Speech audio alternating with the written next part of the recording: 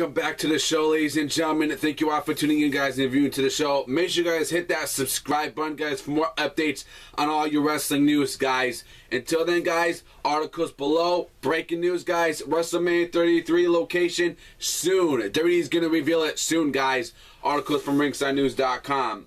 Now, WWE is expected to announce that the Citrus Bowl in Orlando, Florida will be the location in which WrestleMania 33 will take place.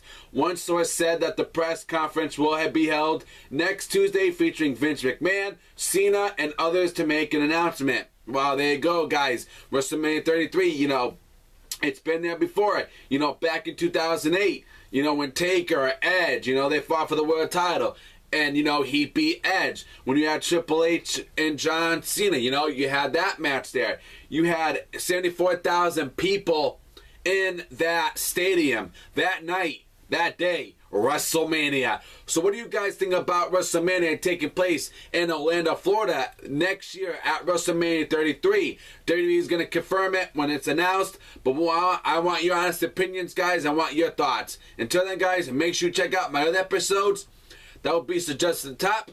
This one will be talking about TNA. They're having pay issues, problems right now in their company, in their business right now. It's suggested up top. Go check that out one out, guys. Until then, tune in to the next show. Subscribe.